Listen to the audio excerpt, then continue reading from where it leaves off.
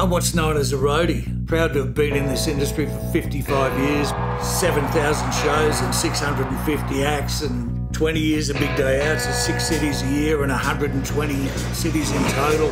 From AC/DC to ZZ Top, it's a great journey. It's something to undertake. Hi, it's Howard Freeman with Tune Up for a Support Act.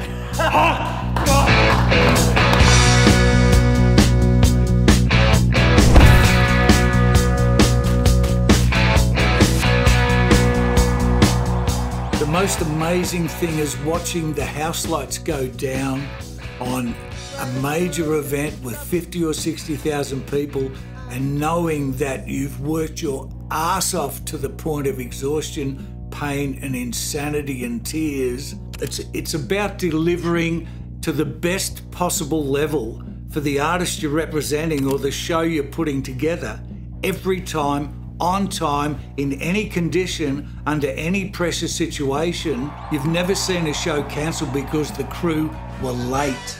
It's never happened and it never will be. So the pressures are relentless.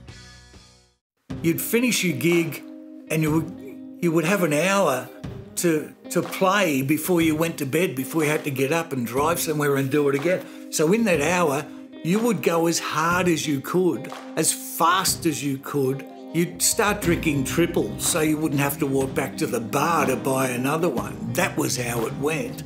Within your exhaustion, both physical and mental, you would fall asleep for the potential three to five hours before you had to get up and do it again, and possibly get up and do a line of speed to get back in the rig, to drive it down the road, to unload the shit again in some dump with stairs, and nobody fucking cared who you were or what you were, and you're fighting with people the whole way, that's the way you dealt with it.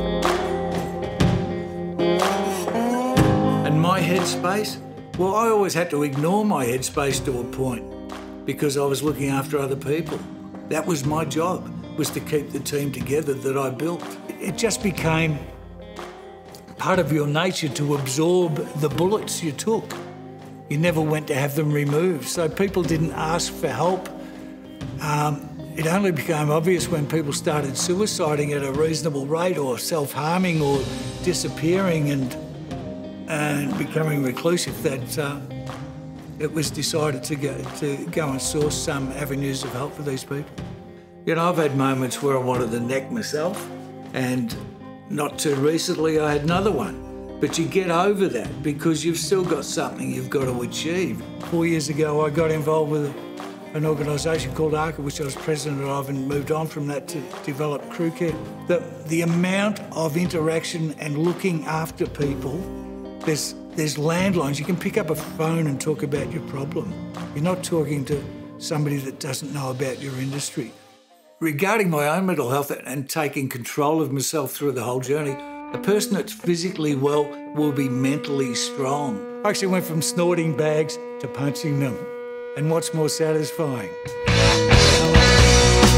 We're now sitting in a place called Fit Life in Country Gully near where I live, and it's run by a guy called Tommy Hopkins, who's an ex-lighting guy who's just amazingly given space to anybody that's a member of CrewCare, old roadies, to come in and train for nothing. Howard wanted to buy the joint when he came in. He's here several times a week just participating in class.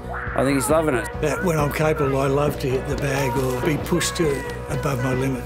And I know when I was on the road with bands, um, you know, the pressure you're under and, and the bad habits you get into.